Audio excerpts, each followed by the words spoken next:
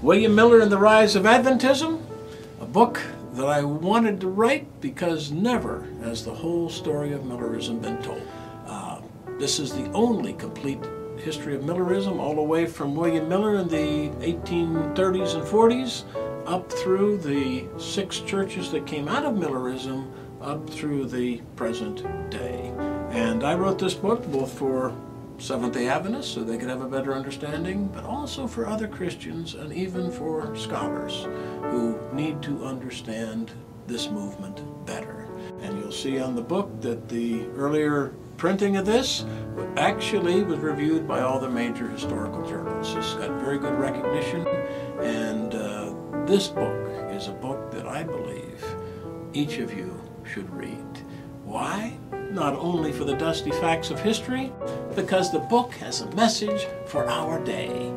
Uh, because it asks the question, why have the other five churches that came out of Millerism, why are they either dead or dying?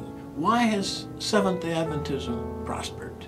I would like to suggest part of the answer is the apocalyptic vision that inspired Miller and that has inspired the worldwide spread of Seventh-day Adventism. May God bless you as you read.